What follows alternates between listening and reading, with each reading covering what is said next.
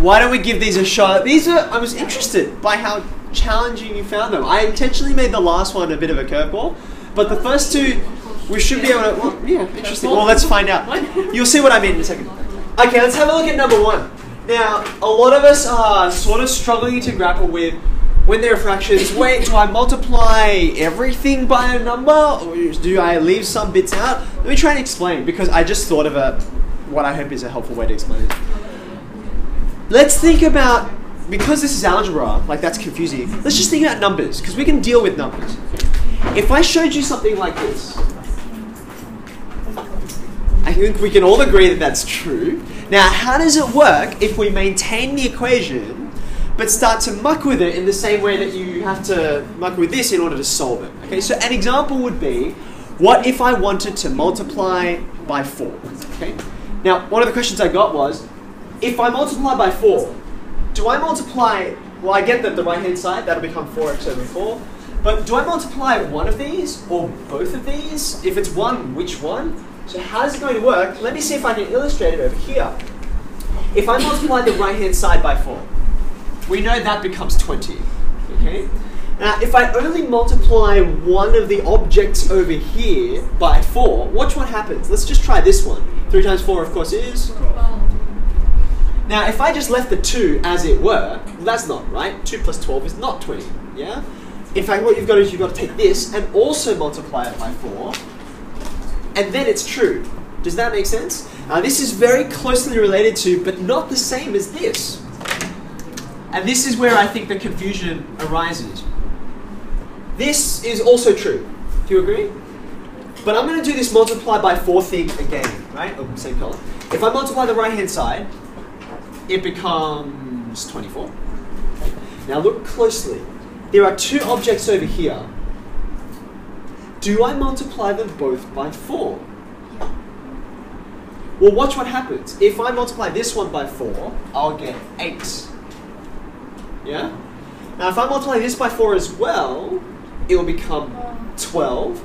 But 8 times 12 is not 24. 8 times 12 is 96. So, in fact, that 3 stays put, which is weird, isn't it? This one multiplies, but not the other one. I could do it again. I'll explain why in a second. Um, suppose, I mean, I said let's try multiplying the 2 by 4, and that's what gave you 8. What if I multiplied the 3 instead? Uh, I've done the right-hand side, let's change that. 3 times 4 is 12, right? What happens to this 2? Do I multiply that by 4 as well? Well, no, because 8 times 12, this, we just did this, right? If I multiply that one, then you don't multiply the other to make it true. Now, here's the question why over here, and it's just numbers, right? Like you guys are telling me it's right or it's wrong. Why on this side do I have to multiply both pieces by four, or, or three? Whereas over here, you actually have to choose. Do this one, or do this one, but if you do both, you're kind of stuffed. What's the difference?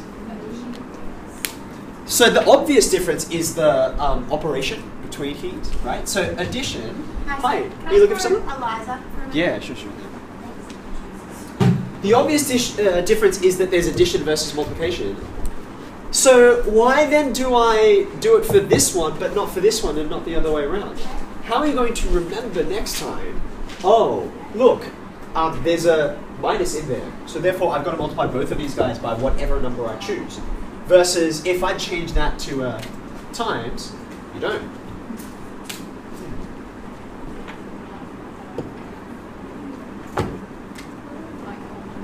Here's what I would suggest you think about. This left-hand side over here, 2 times 3, it's really one object. It's 6, right? 6 here. So when you multiply 2 times 3 by 4, you have to do it once because it's one object, right? Whereas over here, these two guys are well and truly separate, right? Just like over here, they are separate. So you have to multiply each one independently, otherwise you saw it didn't work, right?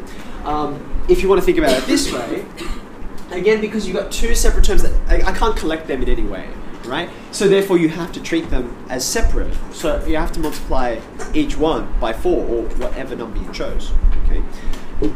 If you're ever unsure, just give it a go with numbers, right, and see what happens. if you get something at the end and you've, you're not sure about it, well, you can substitute and see if it works out. Now, I said 4. What's a better number to choose to multiply by? What do you guys think? I think you're going to have to multiply by 56, which is a big number, okay? But it's not as bad as uh, the most common answer, which is 224. I've seen people look at an equation like this, and they choose to multiply by that number. Where do you think I got that from? Oh, two times all three. I just multiplied 7 by 8 by 4. Good job, just walking in, okay? Um, 7 times 8 times 4 is 224. At least it is if I did my numbers right. Okay? Now you don't need to multiply by a number that big. I mean, you can if you want, but you don't have to. Why not? Didn't go well for me. 56 Yeah, 56 is fine. We're looking for a lowest common multiple. In fact, anything that 8 goes into, 4 also goes into. So that's why you actually sort of don't need to worry about it. Okay. Once you multiply everything by a better number, I'll just show you what the next line is, and I think you guys can work from there. I think that's the hardest part. This will become 8 lots of that. This will become 7.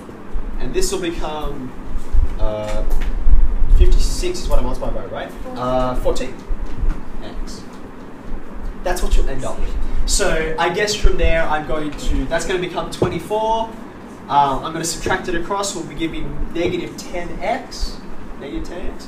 And then you divide through by negative 10, which gives you 7 over 10. Wait, what happened to 56? How did it cancel out?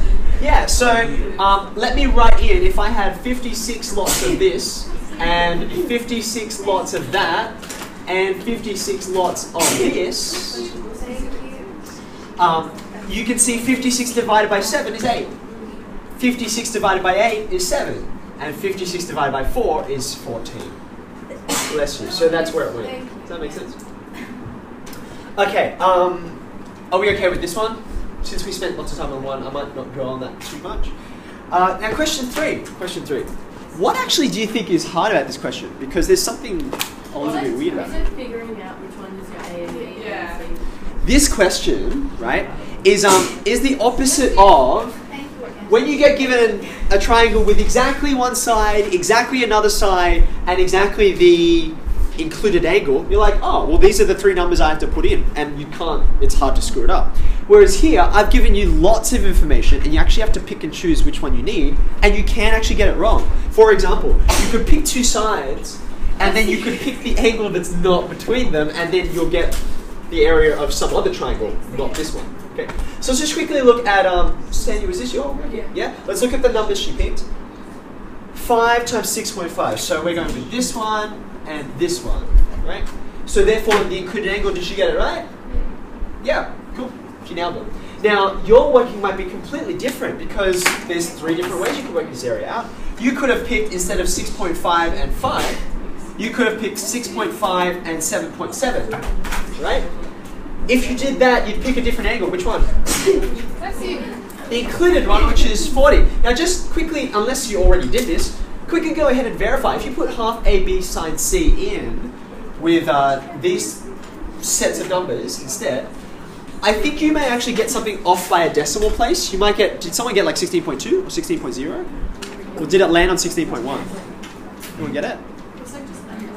Just under, yep. Um, the reason why you get something that's slightly different is because I've actually rounded these numbers here. Um, that's why I had some working because I had to work out what they're actually supposed to be. I couldn't just make things up.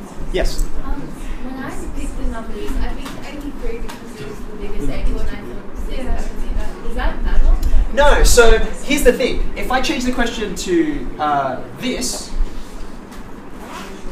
you can still solve it, just in this way that I just mentioned, using these three. So um, one of the lovely things about this, if you remember, this comes actually from. Um, this is related to the sine rule, right? And the sine rule looks like this. If you remember your formula sheet. And there's actually a third one over here, which we, we like we never really use this one. We're like two's enough, okay? But the point is it works all the way around. Every single version is exactly the same. We call that symmetrical.